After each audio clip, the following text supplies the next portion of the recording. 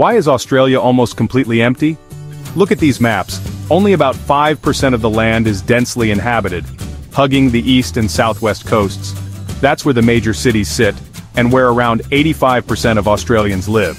Across a US-sized continent, there are only about 26 million people making Australia's population density comparable to Namibia or Mongolia. The reason starts deep in time. Australia is one of the oldest continents. It once had mountain ranges that wrung moisture from passing clouds, but sitting on a stable tectonic plate, those ranges weren't uplifted again. Over millions of years, erosion shaved them down. With the cloud traps gone, moisture slips across the interior. The result? About 70% of Australia is desert or semi-desert, the outback. One big exception survives. The Great Dividing Range in the east still lifts moist air, bringing regular rain and fertile land.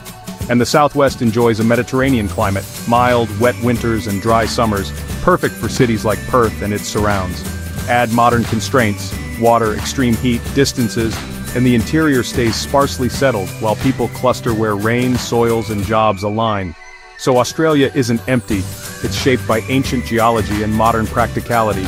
Old rocks, few mountains, little rain inside, crowded edges outside. Want more map-driven stories? Subscribe for the next one.